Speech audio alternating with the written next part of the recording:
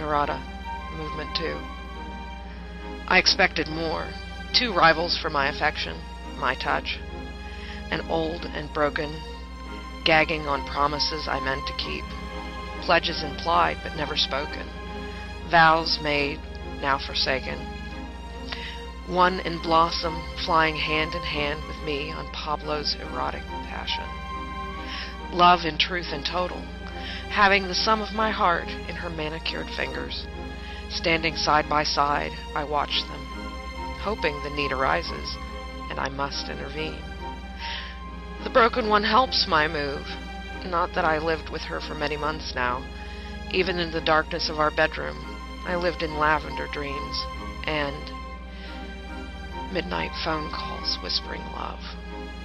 I clasped my hands on her broken and sick cheeks. Bless her forehead with a kiss. We will stay friends, I promise. Whatever hope she had drains from her eyes down sallow skin. She still wears our rings, I notice, unrealistic relics of some illusion I may never have felt. I cannot help her, and I remove my bags.